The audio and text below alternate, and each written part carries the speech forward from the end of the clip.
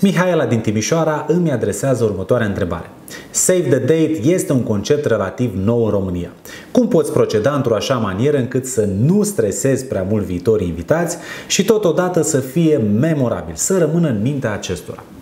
În primul rând, pentru cine nu știe, Save the Date-ul este o modalitate prin care tu îți anunți din timp oamenii pe care tu ți-i dorești alături de tine în ziua anunții că vor face parte din lista ta de invitați. Iar scopul acestei proceduri, acestei modalități denumită Save the Date este unul singur. Și anume să-ți crești procentul de participare al invitaților tăi la nuntă.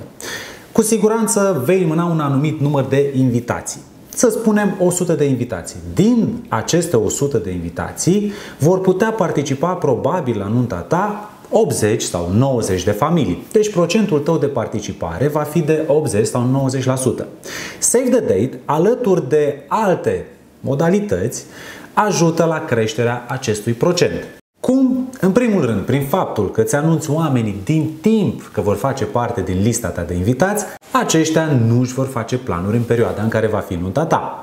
În al doilea rând, conform principiului angajamentului al lui Dr. Robert Cialdini, este mult mai ușor ca cineva să accepte invitația ta la nuntă dacă aceștia în prealabil și-au luat un angajament mai mic.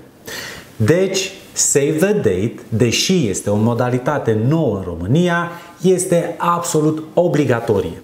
Și ca să răspund punctual la întrebări, respectiv cum poți proceda într-o așa manieră încât să nu stresezi prea mult viitorii invitați, dragă Mihaela, obligatoriu Save the Date-ul trebuie să legi de o pagină de nuntă. Despre asta vorbesc în detaliu în cartea mea și de ce afirm acest lucru? În primul rând pentru că Save the Date-ul nu poți să-l aglomerezi cu prea multă informație. În al doilea rând, nici nu știi multe din lucrurile pe care le vei oferi la nuntă. Tocmai de aceea ai nevoie de o pagină de nuntă. Acolo poți pune în detaliu toate produsele și serviciile pe care le oferi la nunta ta.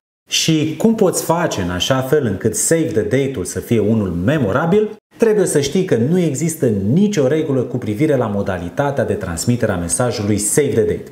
Respectiv, îl poți înmâna personal în format fizic sau îl poți transmite în format digital pe WhatsApp, Messenger sau alte platforme.